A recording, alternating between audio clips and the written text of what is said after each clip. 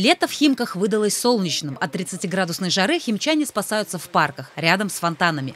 На Химкинском Арбате возле Барашкинского пруда всегда много детей. Несколько десятков водных струй бьют прямо из-под земли, дают возможность искупаться в теплый день. Это очень здорово, что есть такой фонтан, где можно в такую жаркую погоду, как вот была в Москве, освежиться детям повеселиться, поиграть с водой. Весело. Вода абсолютно безопасна. Ее качество регулярно проверяют. Еженедельно сотрудники комбината по благоустройству и озеленению ведут здесь профилактические работы.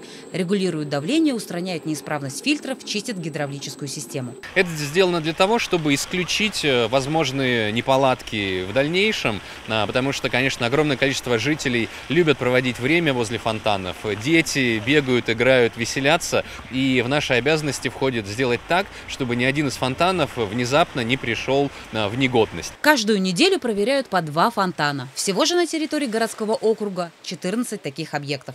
Ксения Брагина, Николай Заброзин, служба новостей.